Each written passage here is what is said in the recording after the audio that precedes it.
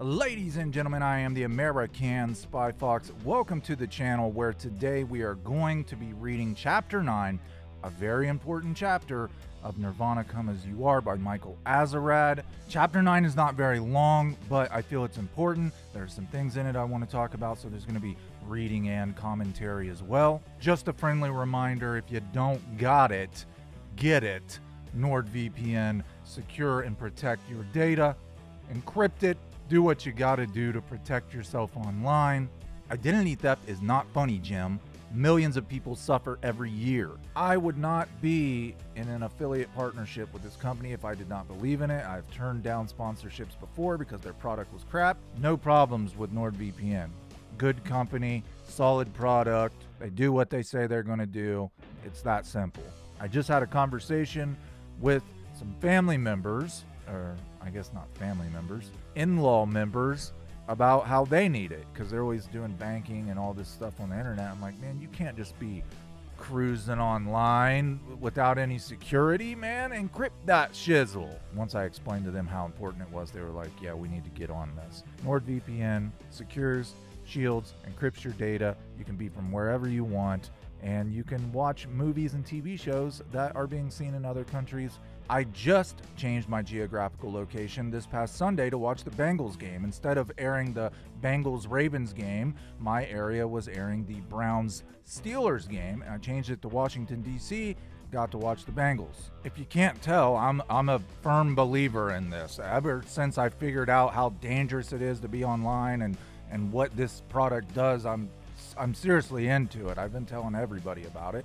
Plus, you can use it on, I believe, up to five devices. So your phone, your laptop, your tablet, your TV. It works on multiple devices. So, again, without any further ado, we're going to get on to chapter 9. Again, there's going to be commentary in this one. Uh, there's something I want to talk about once we get to it. Nevermind came out without a lyric sheet. I guess I wasn't confident enough, Kurt says. First, he wanted to print some of his poems, then some revolutionary debris, then nothing at all. No pictures or anything. At the last minute, he picked some lines out of the songs and a couple that aren't in any of the songs and ran them together into a poem. Kurt says revolutionary debris, quote unquote, meant all kinds of anarchistic revolutionary essays and diagrams about how to make your own bomb. And I just thought we'd better hold off on that, Kurt says. If we ever really want to do that, we'd be more effective if we gained popularity first. Then people might actually think twice about it, rather than us alienating everybody right off the bat.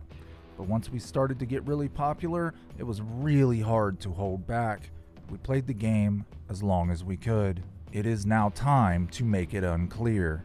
Part of playing the game is going out to dinner with powerful music magazine editors and pretending to be friendly with them so they'll give the band an article or a favorable review. On one of these junkets, the band went out to lunch at a swank Beverly Hills eatery with Rip magazine editor Lon Friend. Yes, his last name is Friend, F R I E N D. Before lunch, Kurt, Chris, and Dave visited Friend's office. I looked up on his wall and I noticed that Lon had a fetish says Kurt, a rock and roll butt fetish. He has to have all these pictures taken with him and up and coming bands where either he's naked or the bands have to drop their pants. He's pinching their butts. There are all these pictures of him with naked rock stars that have been in this magazine. He's in the bathtub naked, and they're standing around him, and it started to scare me. If you are an avid viewer of my channel, you've heard me talk about all the humiliating things that people have to go through to become famous. Remember that there are executive CEOs who can make this dream happen for you. And I've talked about how Courtney Love went through these things and it didn't bother her because she had worked in an industry as a young woman that you had to humble yourself and humiliate yourself. So to her, if that's what I got to do to get famous, that's what I got to do. Now, here's Kurt Cobain telling you that I went to this editor's office and he was going to put Nirvana in the magazine, but he was going to want to humiliate us. He was going to want us to drop our pants and let him take pictures. And it's really weird stuff. These guys are on a really big power ego trip. Listen to what happens. It was a disgusting scene, quote by Kurt Cobain. Was a disgusting scene because we were basically pimping our personalities to this person to see if he liked us before he decided to promote us. Kurt continues. It was the most sickening thing I ever experienced. I just decided to not say a word and sit there and be pissed off and act really insane. The only words he said to me after he got up to leave were, Kurt, you shouldn't talk so much. He was really offended, totally pissed off. Sure enough, Rip magazine did not support Nirvana until it practically had to at the height of Nirvana mania. This editor decided, well, I'm not going to support your band. You don't want to be nice to me and let me have this power over you and probably ask them for one of these pictures, just like he has on his wall. You don't want to humble yourself before me and grovel at my feet and let me humiliate you, then I'm not going to support your band. But eventually, Nirvana, as we know, takes over the world, and then he has no choice. He's got to run Nirvana because that's what everybody's talking about. He probably thought at the time, well, if I don't support this band, they're not going to make it anywhere. And then they'll have to come back and then they'll let me humiliate them. This is a prime example, and I'm sure Kurt probably said much more, but Michael Azerrad left it out of the book to cover his butt. Lon Friend, editor of RIP magazine, very popular in the 90s, was one of these creeps that would basically assault people. If these people he's got in pictures on his walls that Kurt says became rock stars, if they've allowed him to do this, a picture with their pants down, what do you think he was doing when no one was taking pictures behind closed doors? You see what I'm saying? So, sure enough, Rip didn't support Nirvana until it practically had to at the height of Nirvana mania. When the band refused to cooperate anymore with Rip after the magazine ran a special edition on the band without their permission, the letters page just happened to feature more and more anti Nirvana screeds. If we were smart, says Kurt, we would have played the game a little bit longer to get the acceptance of the Rip readers, to where they liked us so much that no matter what we said, it wouldn't matter. But we blew our wad too soon. But at the same time, I feel sorry for those kids. I was one of them. You can't blame a 14 year old kid for calling someone a fag if he's grown up in an environment where his stepdad has been saying this for years and it's it's an accepted thing that you're practically forced to do. So that makes me admire Kurt Cobain all the more that he would not do something like that just to get his band in this huge magazine. And again, it should tell you something about the people who run media. That's why it's so important to support content creators like me who will bring you media without any um, hidden agenda, you know, so to speak, ulterior motive. While Oldsters called Kurt's lyrics incoherent, his Whitman samplers of images, ideas, and emotions fitted the short attention spans of channel hopping kids everywhere. I very rarely write about one theme or one subject. Kurt once told the Seattle Times, I end up getting bored with that theme and write something else halfway through the rest of the song and finish the song with a different idea. It's funny that in the 90s, right, this book comes out in the 90s, they're they're saying the short attention spans of channel hopping kids everywhere. When we were kids, uh, you know, we we had satellite TV and 200 channels, and you're just constantly flipping through channels. And the adults said, "Oh, it's going to ruin their attention spans. They're, they're, flipping through channels." And now we say, "Oh, kids are watching TikTok videos. It's going to ruin their attention spans." There's probably studies. You know, I'm not going to really comment on it because I don't know. I haven't read those studies. But if you think about it, we were doing the same thing when we were kids. We'd watch a channel for like 30 seconds and flip to the next one. Like the Pixies' Black Francis, Kurt didn't necessarily write his lyrics for linear sense. They're at their most successful when words and music collide to produce a powerful and distinct third sensation a denial, a denial, teen spirit. And I don't have a gun. Come as you are, she said. Breed, or even a good old yeah, repeated 13 times for emphasis in lithium. Most of the lyrics come from lines of poetry that Kurt writes in a spiral bound notebooks every night before going to sleep, so the impressionistic quality comes mostly from the juxtaposition of seemingly unrelated lines, rather than a stream of consciousness approach from word to word. So this has always been this argument did Kurt Cobain's lyrics mean anything? Well, yeah. If he's writing in a journal daily, putting his thoughts to paper, and then he's picking those lines out of the journal. At the time he wrote it, it meant something to him. Now he might pick different lines from, you know, different days because they rhyme or they match up or they, they, fit, but it doesn't mean that he wasn't thinking about something when he wrote the line in his journal, right? The effect is like a musical uh, Rorschach test, R R O R S C H A C H test. Call me stupid, but I've never seen this word. I don't know what it means. But more importantly, they added up to very coherent ideas and emotions that you can comprehend conceptually. Of course, sometimes even Kurt got a little confused.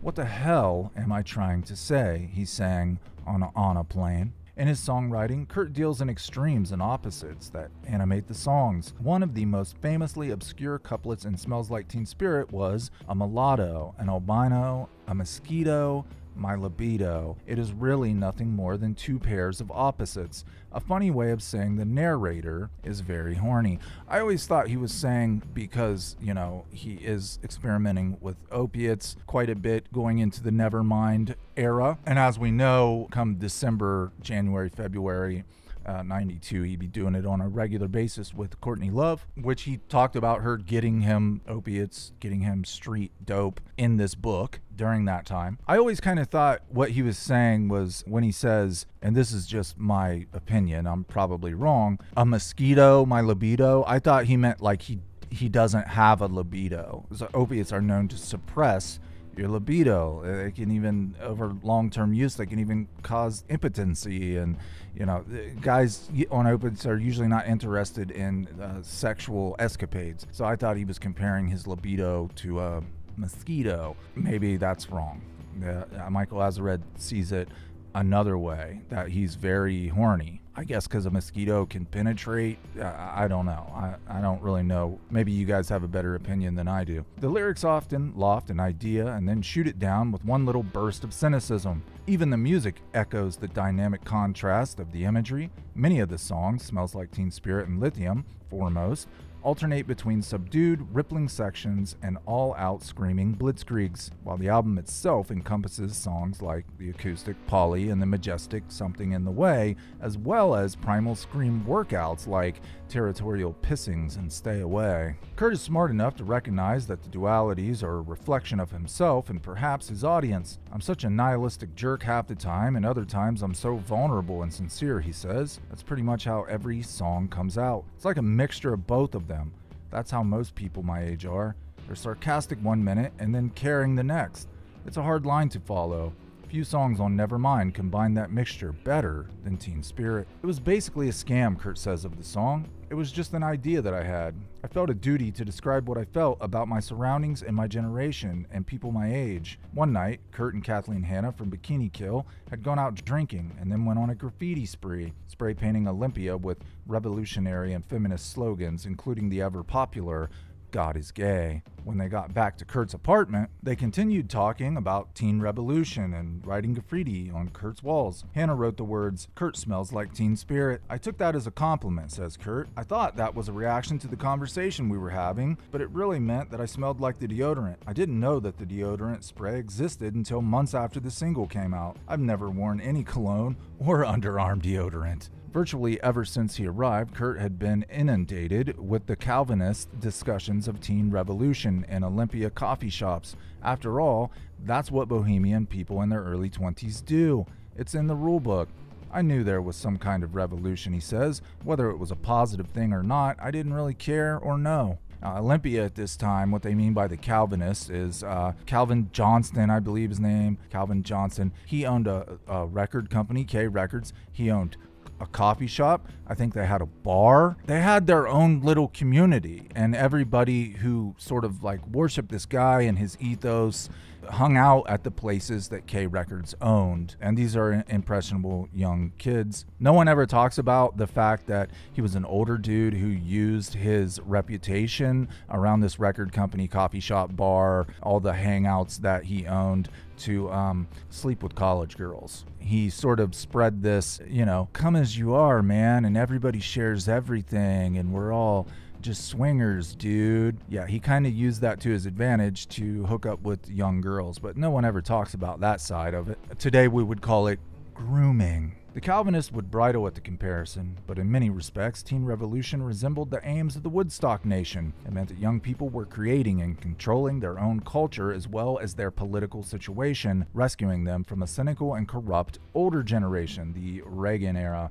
The idea was to make youth culture honest, accessible, and fair in all respects on the artistic side, on the business side, and even in the audience, making it the diametrical opposite of what corporate America had turned it into. After that, political change would be inevitable. Kurt didn't doubt that the Calvinists were earnest and he liked their ideas, but he also was dubious about their prospects. He found their altruism naive. They didn't seem to realize it was all a pipe dream. Everyone seems to be striving for utopia in the underground scene, but there are so many different factions and they're so segregated that it's impossible, Kurt says.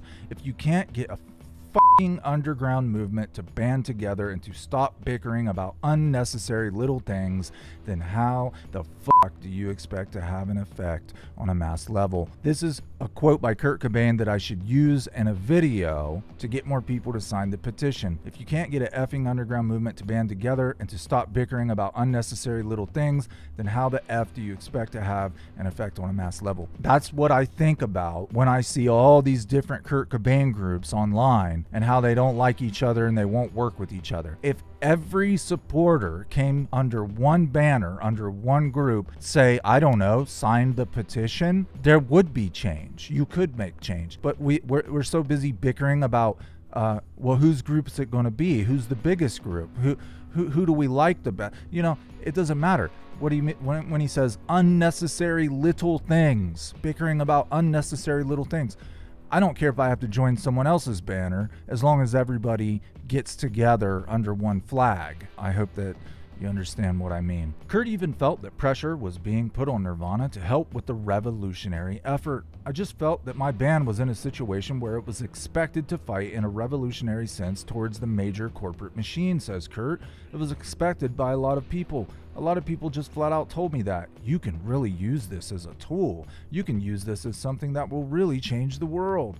I just thought, how dare you put that kind of pressure on me. It's stupid, and I feel stupid and contagious. So, Teen Spirit is alternately a sarcastic reaction to the idea of actually having a revolution, yet it also embraces the idea. But the point that emerges isn't just the conflict of two opposing ideas, but the confusion and anger that that conflict produces in the narrator.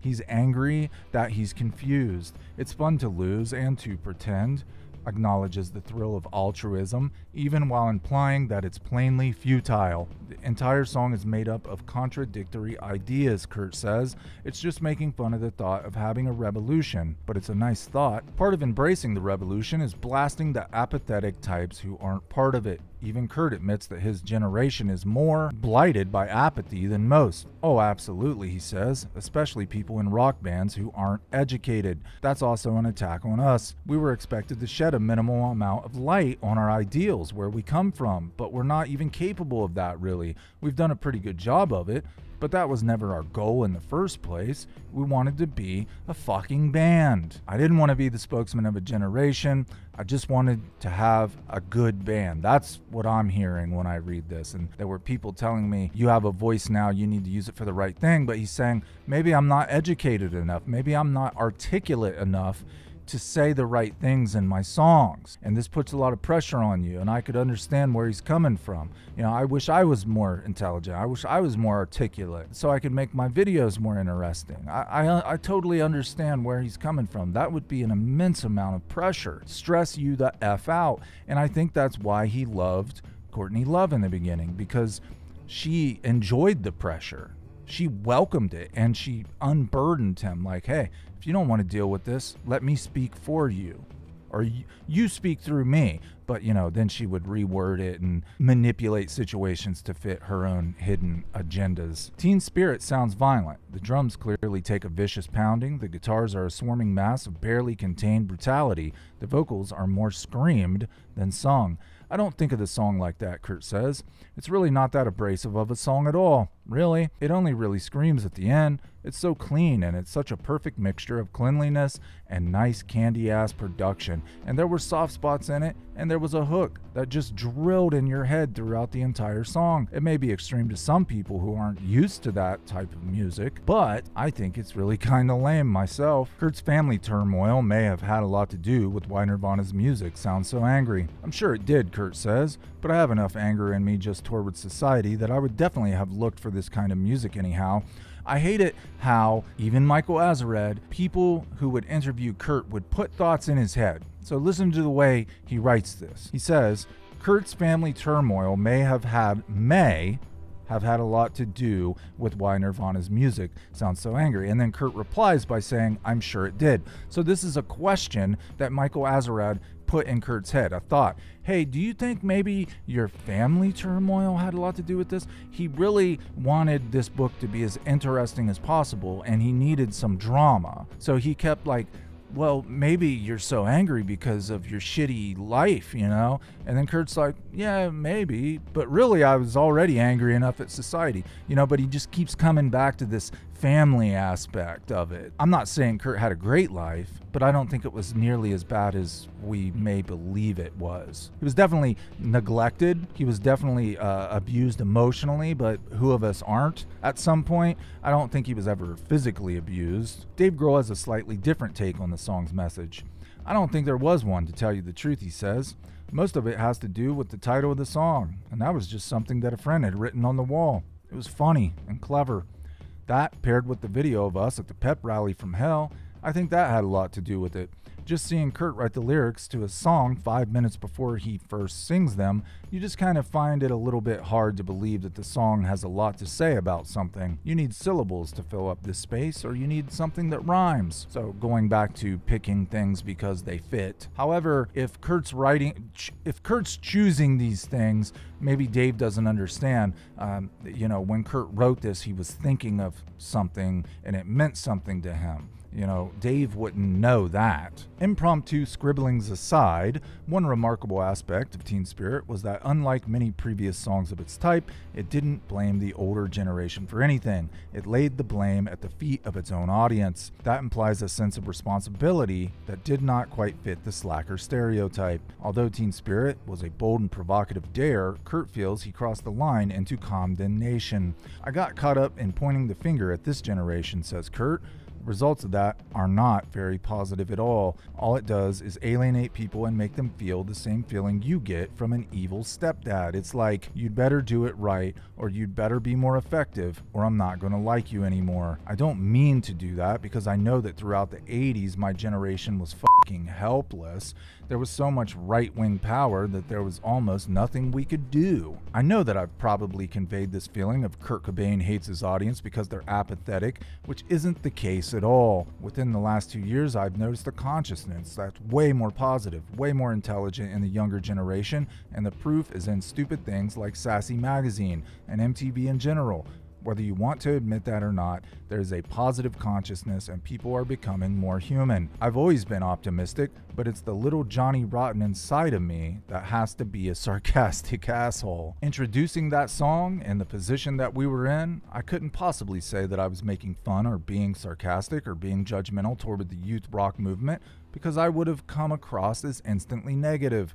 I wanted to fool people at first. I wanted people to think that we were no different than Guns N' Roses because that way they would listen to the music first, accept us, and then maybe start listening to a few things that we had to say after the fact, after we had the recognition. It was easier to operate that way. In Bloom was originally aimed at the dilettantes the underground scene, the jocks and shallow mainstream types who had begun to blunder into Nirvana shows after Bleach but remarkably, it translated even better to the kind of mass popularity the band enjoyed. The song mixes images of fertility and decay with a chorus about a gun toting guy who likes to sing along to Nirvana's music, but he knows not what it means.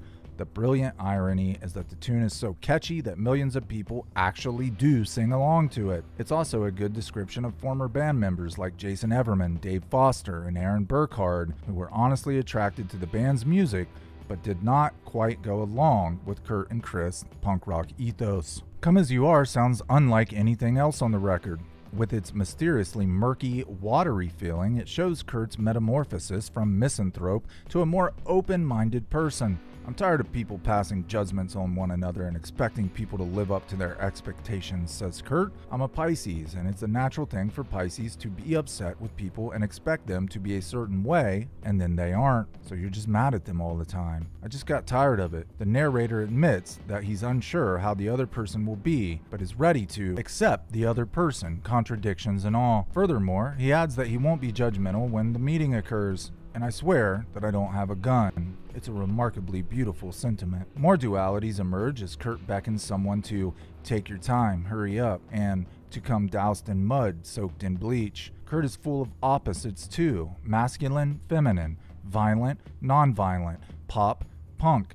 He's decided to accept it all, to come as he is. Perhaps instead of resolving the contradictions, he'll let them live together under one roof, sometimes warring, sometimes joining to produce a powerful third entity. That's pretty that's pretty cool lines actually. That's some pretty creative writing.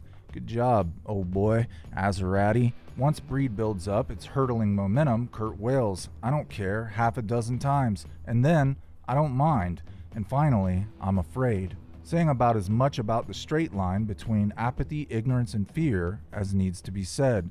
I don't mind if I don't have a mind is merely icing on the cake. The title of Lithium is an update on Marx's description of religion as the opiate of the masses. Kurt says that the song may well have been inspired by Jesse Reed's family, the only born agains he had ever had direct contact with. Kurt says he isn't necessarily anti religion. Keep in mind, when Kurt lived with Jesse Reed and his father, his father was in this old 60s surfer band and then he found religion. Kurt did, according to Jesse Reed's father, uh, went to church with him a few times, you know, except accepted Jesus Christ. I don't think he was baptized or anything like that, but Kurt was looking for something, and he did try out religion for a time. I hope that he found what he was looking for before his demise. Buddhism seemed to be a major part of the last couple years of his life. Probably a lot of Courtney's influence, um, more a philosophy than a religion. I've always felt that some people should have religion in their lives, Kurt says. That's fine. If it's going to save someone, it's okay. And the person in that song needed it. The song is not strictly autobiographical, but it's easy to see a resemblance between Kurt's despair and loneliness in Olympia and the sorry state that the character is in. Kurt didn't find religion that winter of 1990, but he did find another kind of nirvana. Polly is based on an actual incident which occurred in Tacoma in June of 1987.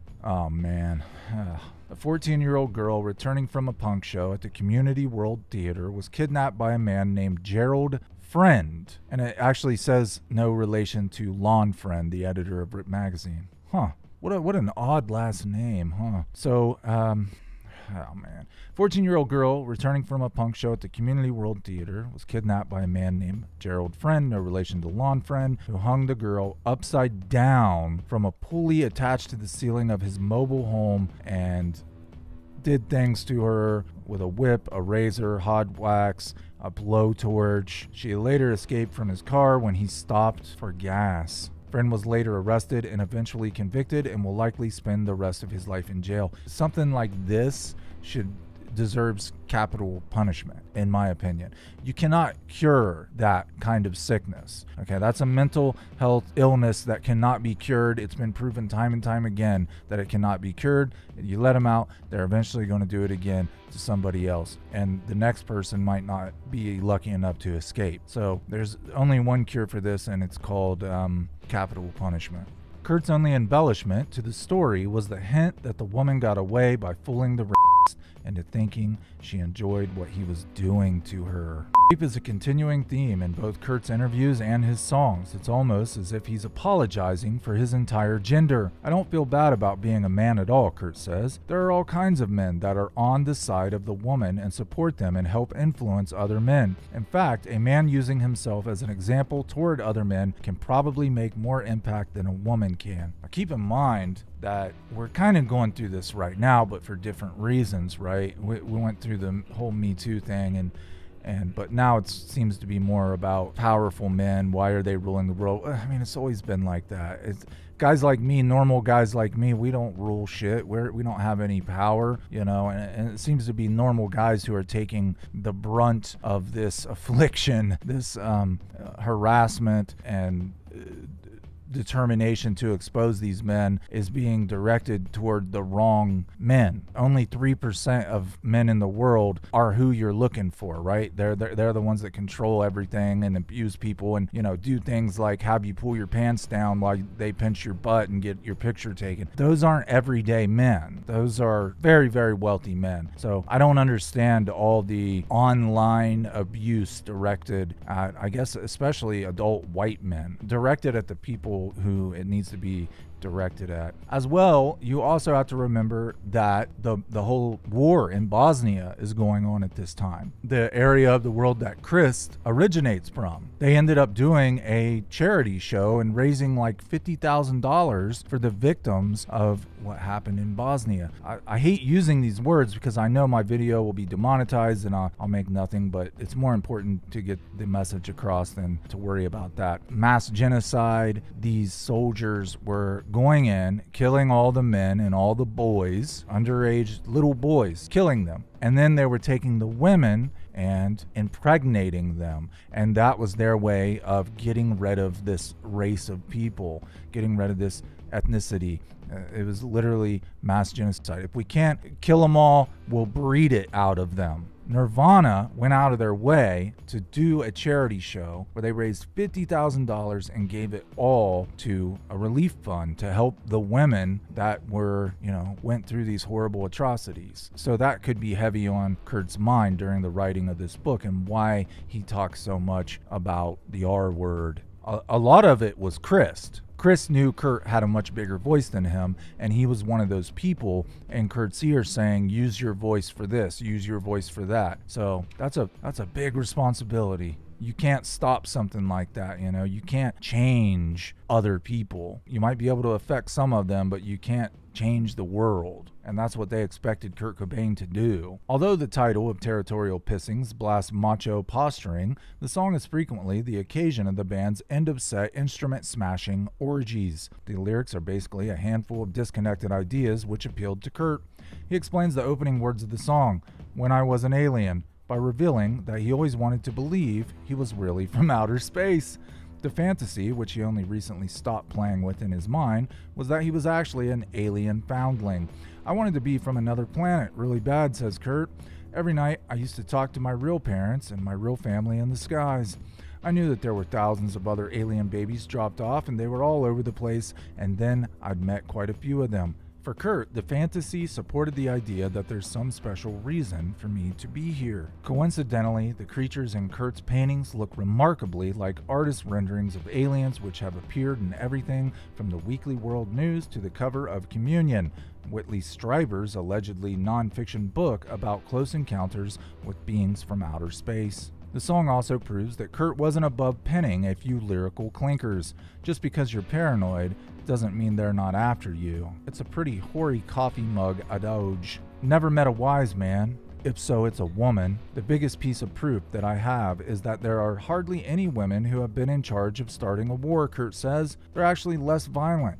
By this time, one begins to wonder how Kurt rationalizes being a man at all. His first response is revealing. I don't know, he says. Castration? Later on in On a Plane, he is neutered and spayed. And in Come As You Are, he doesn't have a gun. It's been pointed out many times that the first three songs on the album mention guns. Dave Grohl's father tried to make an analogy about that, Kurt says. Something about how I tie guns with my penis. I don't know why. I wasn't conscious of the fact that I mentioned guns three times. I've tried to figure out an explanation for it myself, and I can't. I really can't. To paraphrase Dr. Freud, sometimes a gun is just a gun, but not this time. Drain You is a love song, or rather a song about love. In Kurt's universe, the two babies of the song represent two people reduced to a state of perfect innocence by their love. I always thought of two brat kids who are in the same hospital bed, he says. The lyrics mix the utter dependence of infants with their narcissism. I don't care what you think, unless it is about me, one of them says. Although there is an obvious sexual connotation, the image of draining off an infection mainly has to do with relieving the other of bad feelings, like sucking out the venom from a snake bite. The medical theme, the song is rife with fluids, infection, and vitamins, would dominate the next album. The title of Lounge Act came from the fact that we just thought that song sounded like such a lounge song, says Kurt like some bar band would play, but the lyrics are nothing of the kind.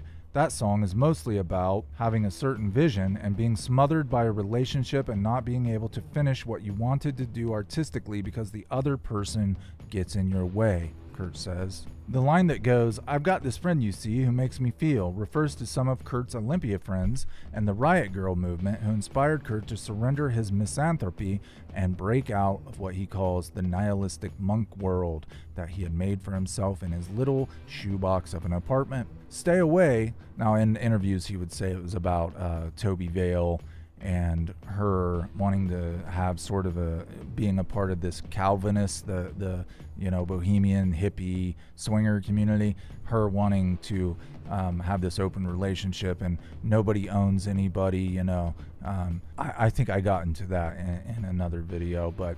Stay Away undoubtedly began as an indictment of the Calvinist scene in Olympia, but in a broader sense, it could apply to any conformist clique Monkey see, monkey do. I don't know why I'd rather be dead than cool. The title of On a Plane could be read as a pun, as an airplane.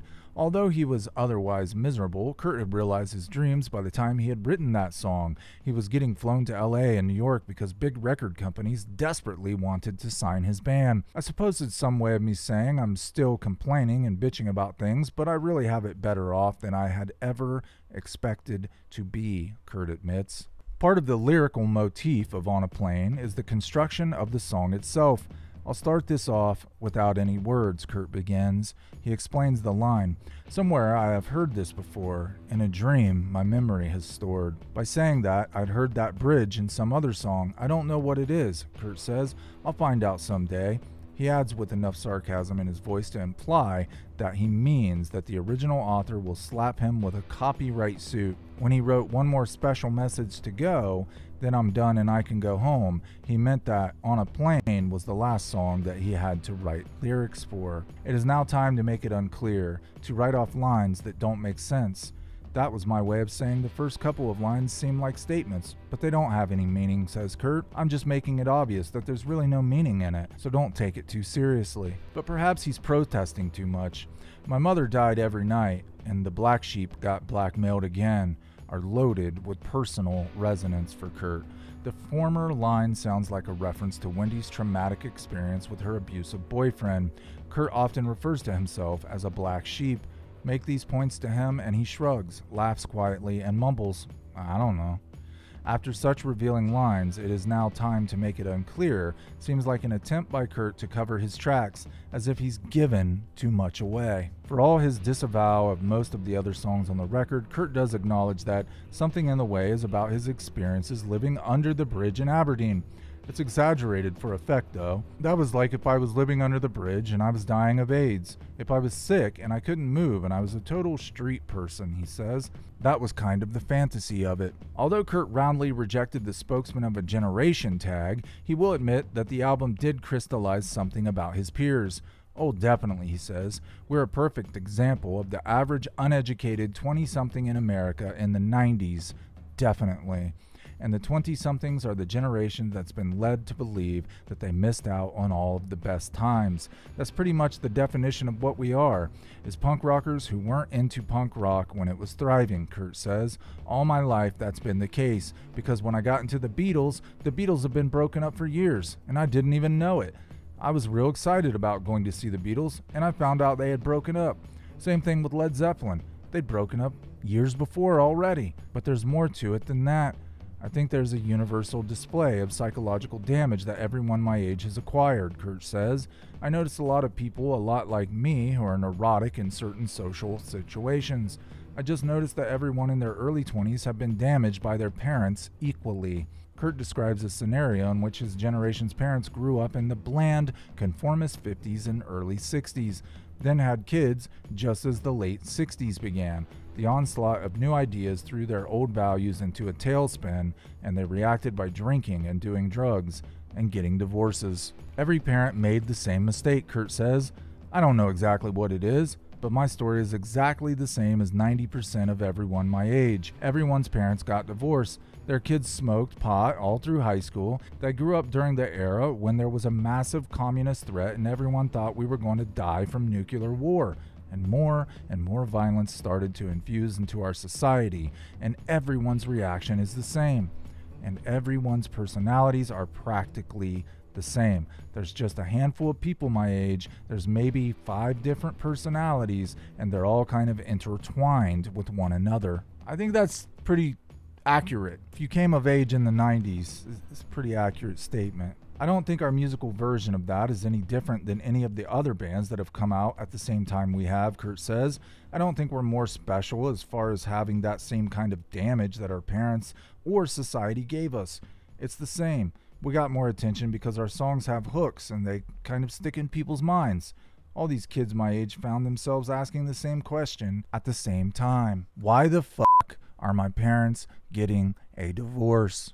What's going on? Something's not right. Something about the way our parents were brought up isn't the way it's supposed to be. They fucked up somewhere. They're living in a fantasy world. They must have done something wrong. Those are some tough thoughts to have, especially if, like Kurt, you were eight years old. Analyzing his own songs at length reminded Kurt of something. I'm just starting to realize why I had such a hard time with interviews when this record came out, he said. People were going through the songs and trying to get me to explain them, and I just don't even have any opinions on them.